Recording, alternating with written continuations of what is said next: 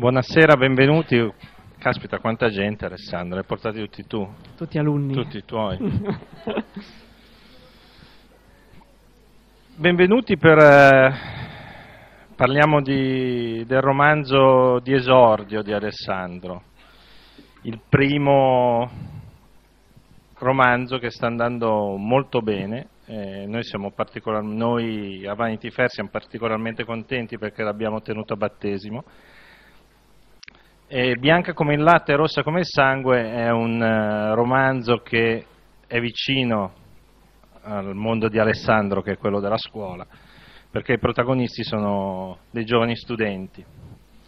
Sono Leonardo, Leo, il, il vero protagonista della storia, ci sono Silvia, Beatrice, Nico, è una figura bellissima, è l'amico del cuore di, di Leonardo, ne parleremo, ed è, eh, partirei proprio dal titolo, e come sa Antonio Franchini, che è un maestro di titolo importantissimo, eh, che nasce da una, dalla frase tratta dall'amore tremelagrane di Italo Calvino, che mh, Alessandro ha messo dopo, prima dell'inizio del libro, che dice così.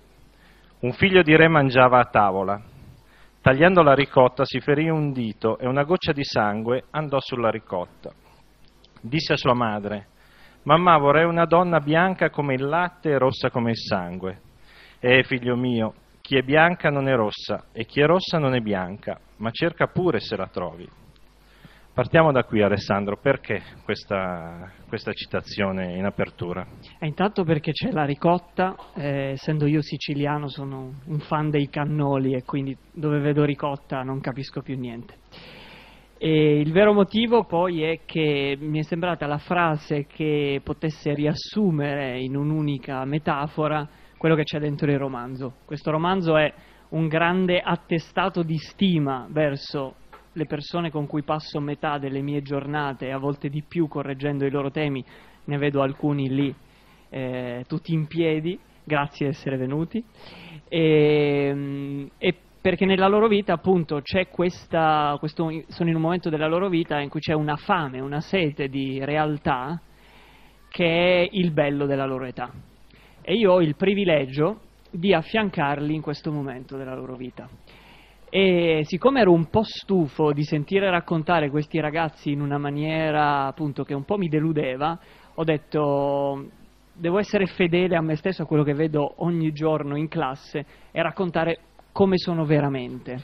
Alcuni hanno tacciato questo romanzo di eccessivo buonismo, un romanzo in cui sembra di essere fuori dalla, dalla realtà, ma è un romanzo che con la realtà ha molto a che fare, perché questo principe che cerca eh, una donna bianca come il latte e rossa come il sangue, quello che cerca in realtà è la realtà. Siamo in un'epoca in cui noi della generazione precedente stiamo dando a questi ragazzi un po' troppo reality e un po' poca realtà, perché siamo alla decima edizione del Grande Fratello, quindi qualcuno qui dentro connivente ci sarà. Ora non vi fate venire sensi di colpa, ma eh, fateveli passare subito e tanto non servono.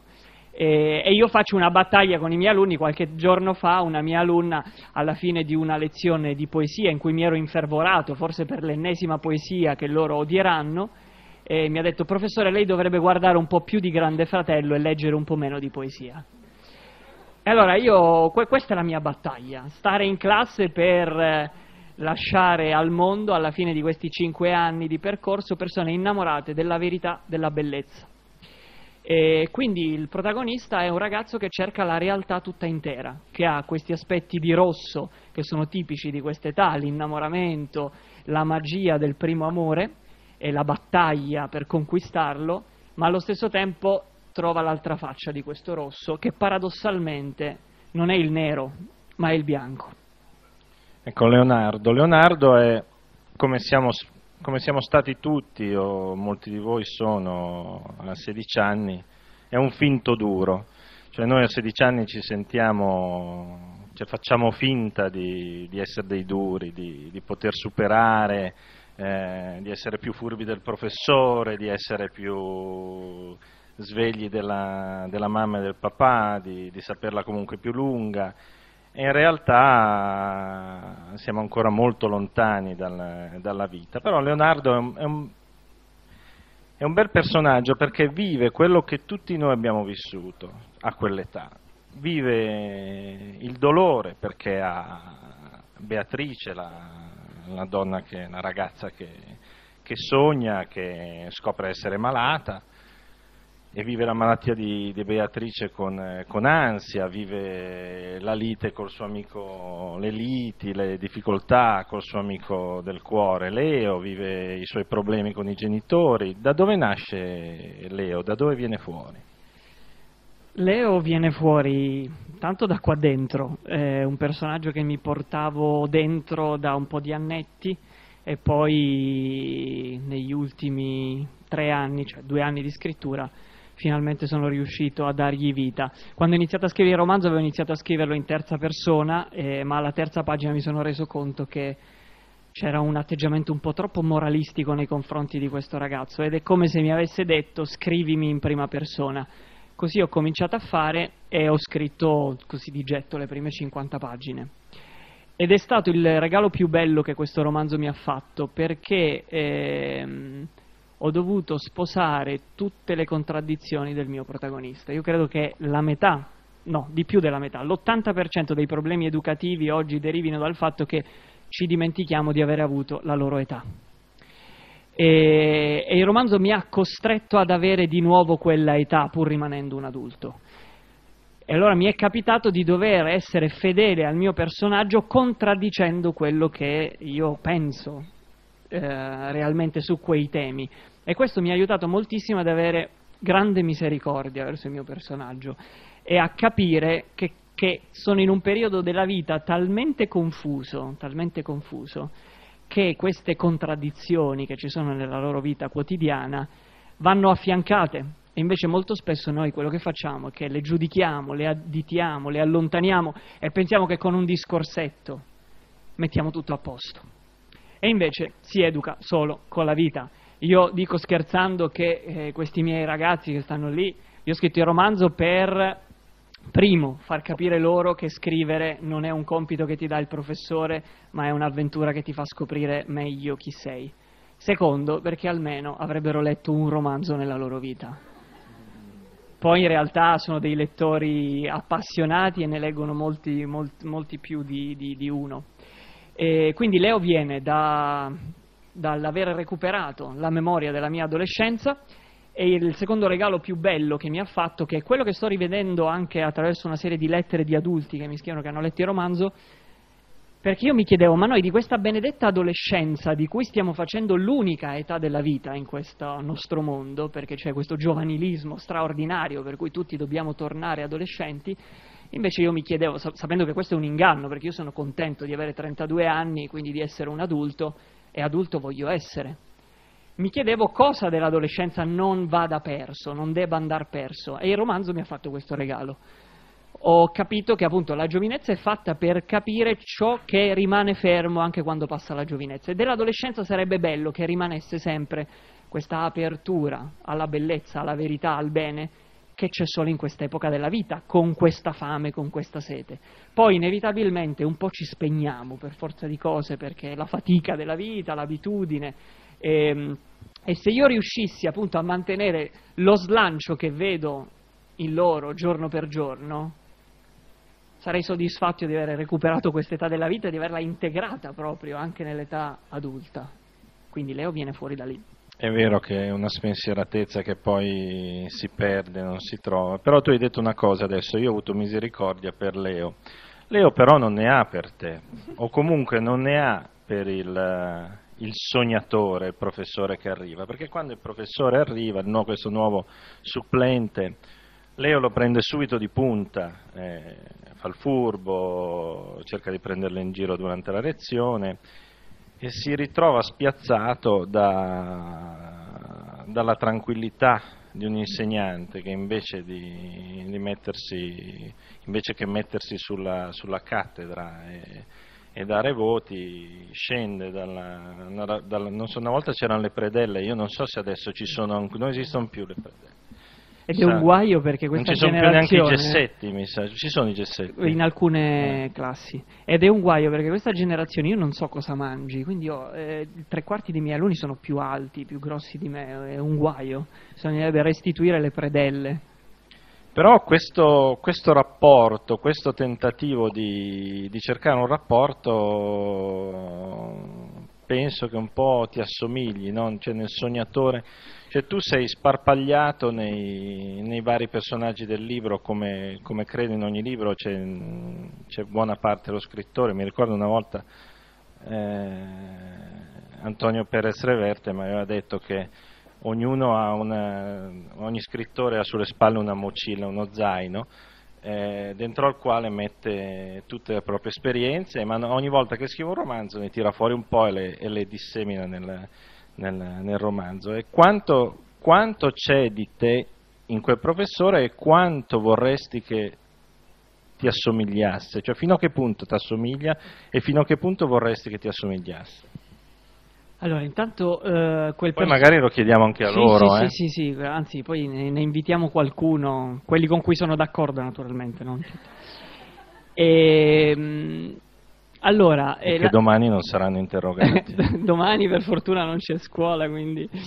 E, ehm, vediamo un po'.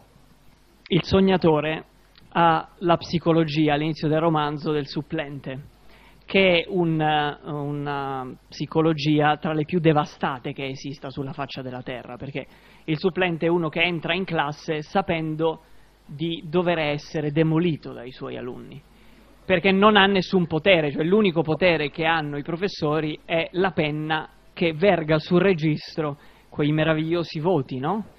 il supplente entra sapendo di avere a disposizione al massimo una matita e quindi poi inevitabilmente la gomma passerà su quel voto, quindi effettivamente verrà cancellato, non ha alcun potere. Ed è quello che mi è successo con, uh, con questi ragazzi, perché io ho cominciato a insegnare nella scuola in cui insegno grazie a una supplenza perché un collega che non conoscevo ha avuto un'ernia.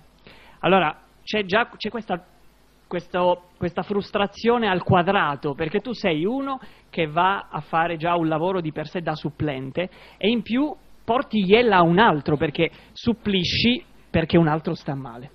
Quindi entri in classe e pensi di non avere nessuna possibilità. Poi in realtà quando te la giochi alla grande, eh, anche se passerai con loro solo poche ore, e dici io qui me la devo giocare veramente alla grande perché l'unico tempo che mi è dato di passare con questi ragazzi, io mi trasformo in un sognatore in classe, cioè ho la pretesa di credere a questa gente qui che è un, un popolo meraviglioso a cui non stiamo dando tanto credito purtroppo. E quello che avviene è che in quell'ora li vedi trasformarsi perché trovano un adulto che crede in quello che fa. Cioè, Poi l'altro giorno c'è stato un produttore cinematografico che mi ha detto ma questo suo romanzo in cui c'è questo professore che fa così il suo lavoro è un po' trasgressivo. Dico, oh, meno male siamo arrivati a questa trasgressione in cui c'è uno che prova a fare bene il proprio lavoro, ormai siamo, siamo nell'epoca dei reality, al, al, veramente al divertimento su ciò che è trasgressivo. E quindi quello che succede è che sì, no, io mi, mi ritrovo molto nel sognatore, perché sono un sognatore, entro in classe sognando e volendo far diventare, eh, riempire la mia vita dei, delle loro vite, che sono poi i miei sogni. L'altro aspetto è che spesso questo personaggio viene paragonato al professor Keating dell'attimo fuggente.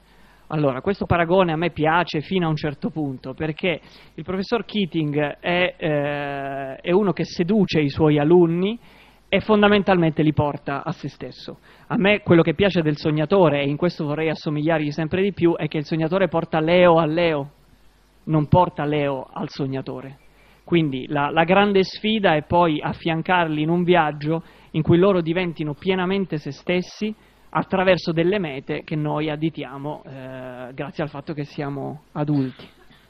E a proposito del, del rapporto tra ragazzi e adulti, ragazzo e professore, tu lo sai, c'è un passaggio che mi è piaciuto molto nel libro ed è il, il colloquio al limite della lite tra il padre di Leo e appunto Leo, perché Leo viene beccato come succede a tanti, come è successo a molti di noi e come succederà sempre, mentre, eh, perché non va a scuola, non va a scuola non per fare il cretino, ma non va a scuola perché sente di dover andare a trovare la sua amica malata.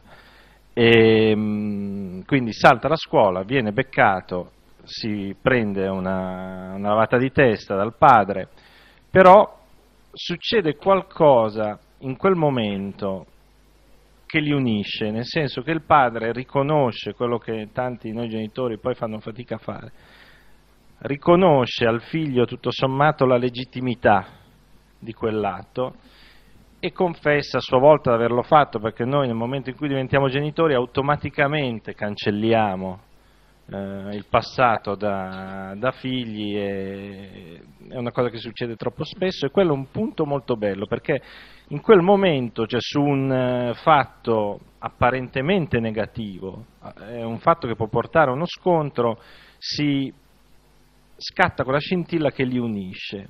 Ehm, da dove nasce questa cosa?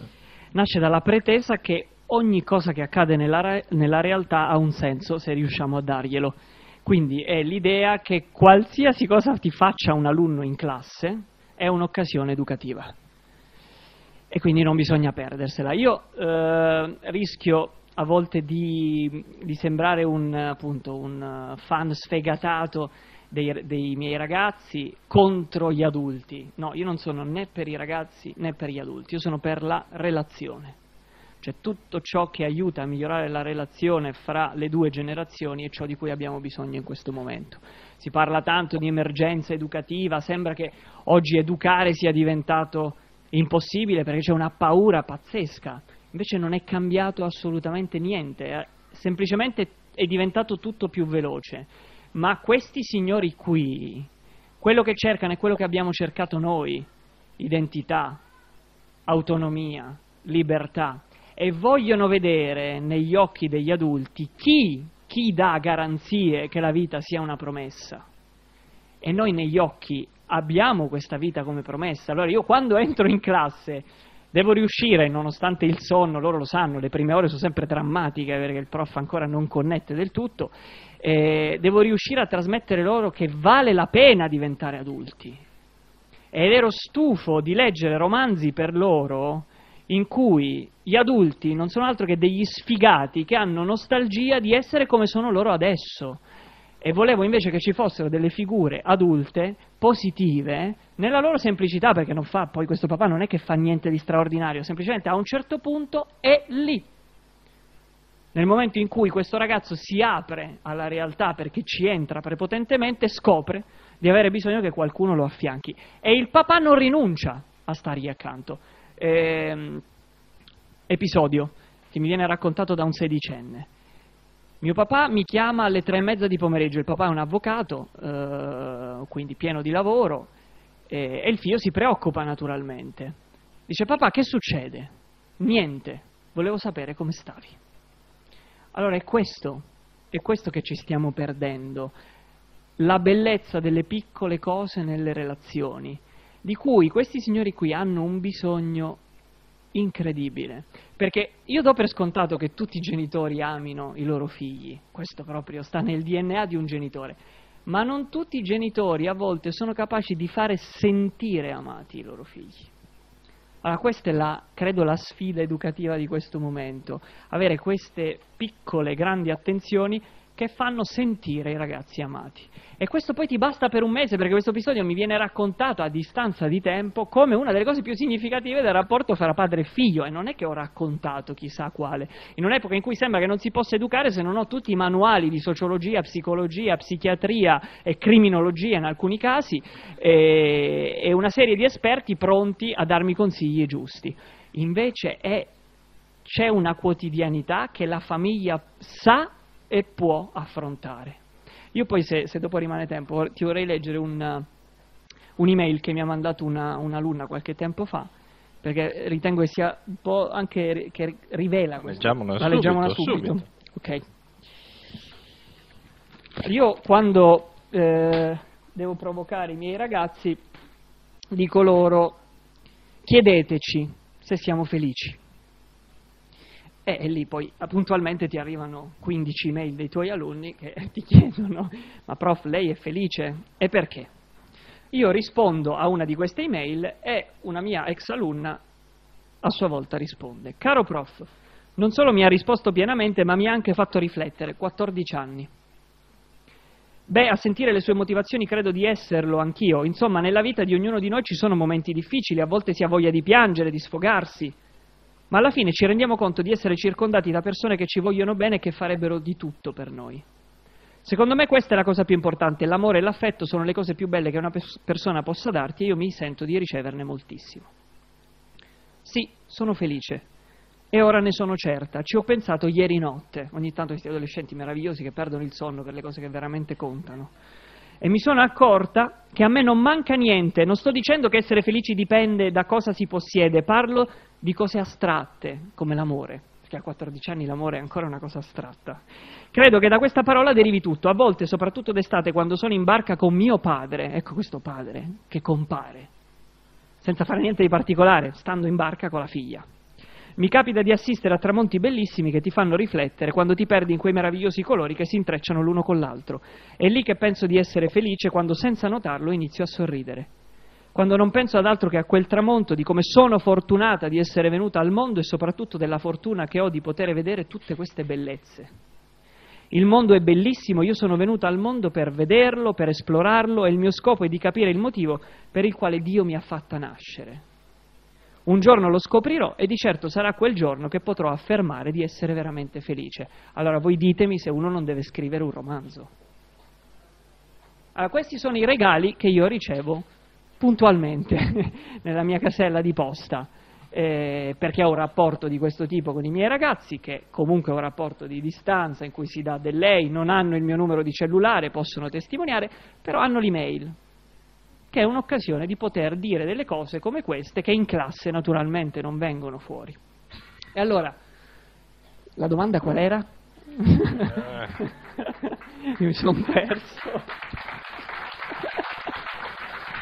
Siamo partiti dal rapporto del papà. Ecco, papà. appunto, quindi io mi sento padre di questi ragazzi. La cosa straordinaria è che l'insegnamento che io credevo che mi regalasse la bellezza di studiare le cose che mi piace, mi sta regalando un sacco di figli è la cosa più, più bella, divertente. Lasciamo, lasciamo, perdere Leo adesso, visto che hai citato una tua alunna. Parliamo di Silvia, che è una bellissima figura di questo libro. Silvia è la compagna di classe che tutti vorremmo avere, è quella brava che ci fa studiare, che ci, eh, ci aiuta nei compiti, non ti, non ti frega mai, è onesta, pulita al, al limite dell'autolesionismo a volte, però eh, e lei cioè, esiste questa, questa studentessa? Cioè, esiste questo tipo di, di alunna? Non posso rispondere a questa domanda. Esiste, esiste e ce ne sono molte più di quanto si creda. E io l'ho, l'ho scoperto attraverso queste email qui. Io ho dato il mio il mio romanzo da leggere ad alcuni miei alunni in anteprima, cioè ad alcuni ai miei alunni in anteprima, sono quelli che stanno lì, e, e, loro appunto mi davano un feedback con le loro reazioni di pancia, perché poi un quattordicenne legge i libri con la pancia, non con la testa. E una delle reazioni più positive è stata proprio su questo personaggio di Silvia. C'è stata una specie di fan club che si è subito creato per dire ecco finalmente la nostra eroina, cioè quella ragazza che sa che ha il cuore, io dico, a forma di, di orecchio, che sa stare lì in silenzio, ascoltare in un mondo in cui essere timidi e riservati sembra essere diventata una delle colpe più grandi, quanto bisogno invece c'è di questa femminilità discreta, silenziosa, che affianca. Il romanzo è anche un grandissimo inno alla femminilità, perché queste due figure femminili sono due figure straordinariamente belle e, e questa femminilità c'è, c'è in molte più ragazze di quante si voglia credere, solo che noi appunto siamo sovraesposti a un tipo di femminilità forse più gridata, eh, che finisce con appunto il contraddire se stessa proprio attraverso questo suo grido.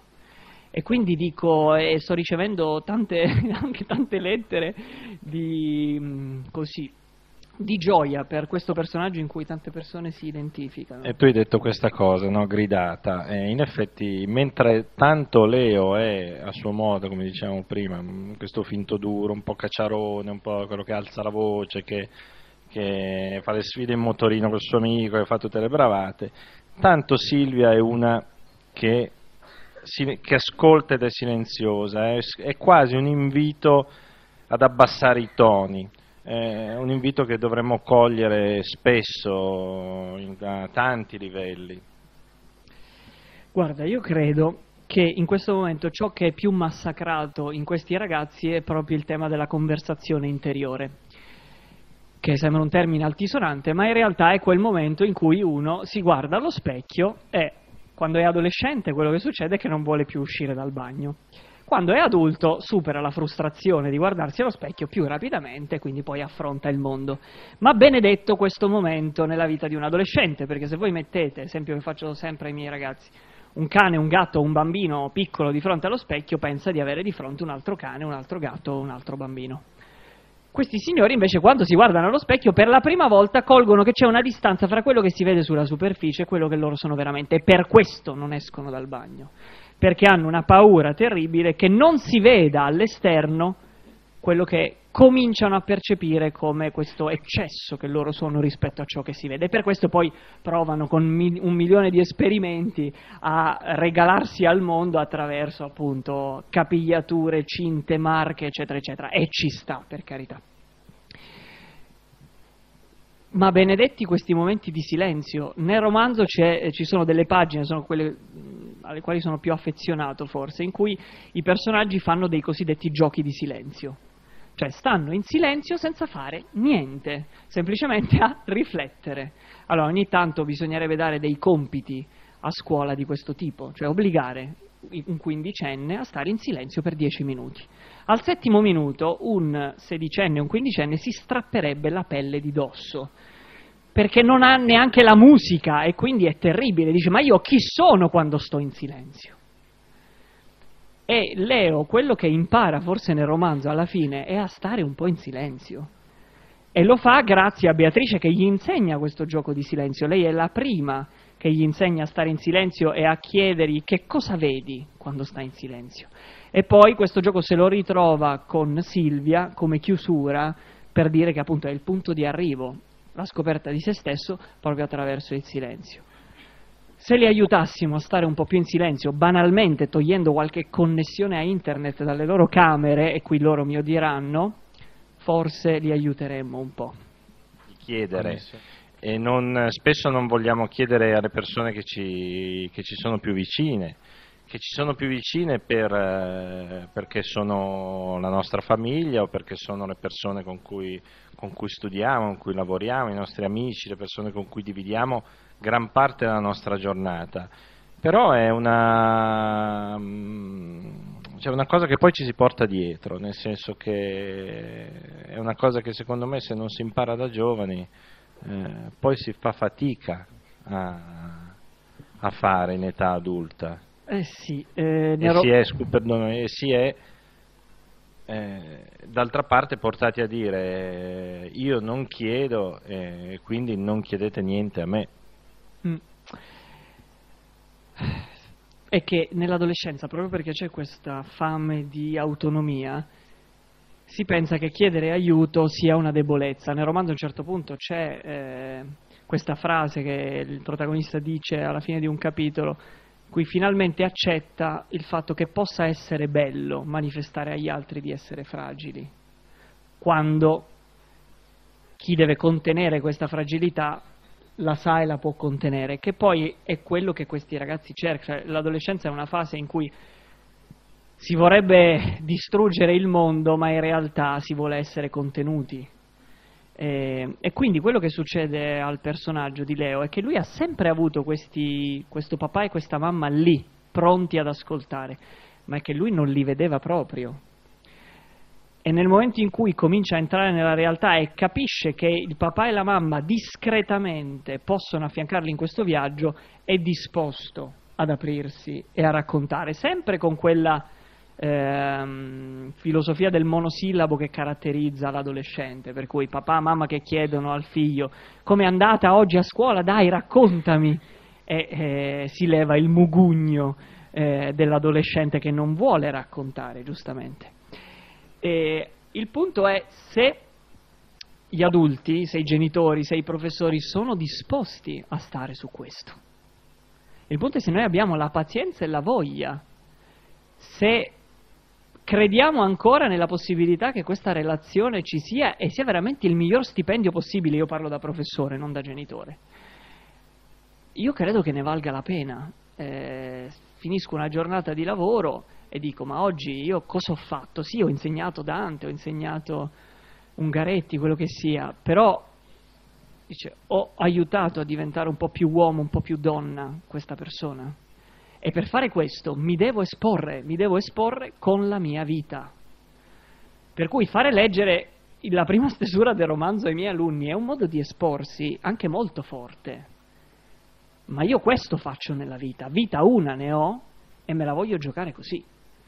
E quindi dico, e questo è quello che mi dà la felicità, cioè vivere, provare a spendere la vita per gli altri, perché se dovessi puntare solo sullo stipendio, insomma, mi sarei fatto altri, altri pensieri. Un papà dentista che adesso ha chiuso lo studio perché eh, io ho scelto di fare il professore e i miei fratelli e sorelle hanno scelto pure loro di fare altro. Racconto una cosa, io scusate sono logorroico come tutti i professori. L'altro giorno ho presentato il libro a Napoli e quando è iniziata la presentazione a un certo punto ho visto due ultra sessantenni, uno il, l'uomo con un bastone, eh, che si sedevano tra il pubblico, avevano una somiglianza straordinaria con i miei genitori. Erano i miei genitori. Io, I miei genitori abitano a Palermo, eh, io abito a Milano e da quando è uscito il libro non ci siamo ancora visti. Questi due signori, senza dirmi niente, che hanno fatto? Hanno preso la nave la sera prima, hanno viaggiato come due sposini, si parla di crociera nel romanzo, eh, notte tempo, e si sono presentati candidamente la mattina come due del pubblico. Allora, uno dice, Davenia sei buonista? No, è che la realtà è ancora più buona di quello che ci vogliono fare credere hai tirato fuori tu Palermo, allora parliamo. Tu sei siciliano, come ho sentito dire una volta in un incontro, tu purtroppo sei siciliano. Una volta ho sentito. E, arrivi da una Sicilia, eh, da un, quando abbiamo fatto quella chiacchierata abbiamo parlato di persone che, che non sono esattamente sconosciuti, che tu hai avuto vicine, hai avuto Don Puglisi come, come insegnante, eh, vedevi fisicamente Borsellino ogni domenica perché abitava nel tuo quartiere, eh, arrivi da una città, una terra che sappiamo bene quanto è controversa, se da un lato ha dato forse luce ai più grandi intellettuali, alcuni tra i più grandi intellettuali, pensatori, scrittori italiani, dall'altro eh, il primo pensiero che si fa quando si, si, si, si, dice Sicilia, si pensa alla morte, alla mafia, alla, il, bombe, Falcone, è ovvio, no? Cioè, questo è il primo pensiero che viene a noi tu ci sei stato, proprio l'hai vissuto quello e hai una, mi chiedo quanto proprio da quello, da quei, da quei dolori, da quel, da quel sangue, eh, arrivi, nasca la tua, quella che apparentemente è una serenità anche un po' invidiabile. Allora, eh, Palermo 018, quindi il mio DNA, tutto, tutto è palermitano in me, tutti gli eccessi, tutta la passionalità, tutti i difetti, anche l'essere permaloso, l'essere superbo, insomma, tutti i difetti tipici dell'essere siciliano. Poi quest'anno, grande soddisfazione, siamo anche in zona, in zona Champions, quindi insomma veramente non abbiamo più altro da chiedere a questo punto. E, ehm, sì, è una Palermo che mi ha dato, vabbè, oltre che le origini, io vengo da una famiglia numerosa, noi siamo sei figli, e quindi veramente le mie radici sono, sono lì e tutto quello che ho imparato della vita l'ho imparato in questo mondo folle di questa famiglia, in questa città altrettanto folle. Però effettivamente la mia adolescenza è stata segnata da, da questi episodi qui. Eh, ora sembra così un po'... Quando tu vedi un sacerdote come padre Puglisi che passeggia per i corridoi del tuo liceo ed è un sacerdote minuto, e pensi da liceale onnipoten- col delirio di onnipotenza come tutti i liceali, dice ma figurati questo qui, che va in giro vestito così, che cosa avrà mai da raccontare a 1500 studenti di un liceo pubblico di Palermo?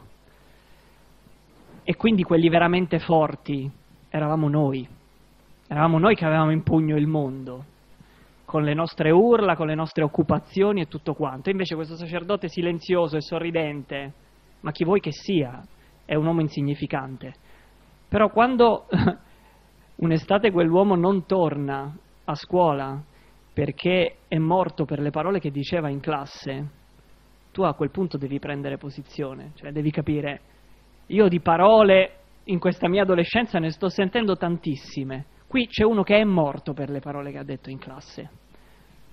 E questa è una cosa con cui devi fare i conti, cioè non, non puoi o prendi posizione o rimane lì come una specie di mostro irrisolto. La stessa cosa val, valga per Borsellino, appunto. Tutte le domeniche a messa io incontravo quest'uomo che eh, anche lui molto silenzioso, molto, molto tranquillo, sempre accompagnato da questa scorta e poi un giorno non c'è stato più e mi ricordo ancora il botto perché eh, abitavo abbastanza vicino a dove è avvenuto l'attentato.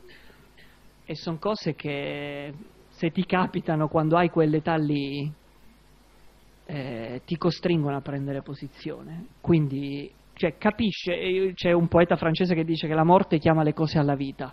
Ecco forse questa è la sintesi. Io ho visto morire queste due persone per la verità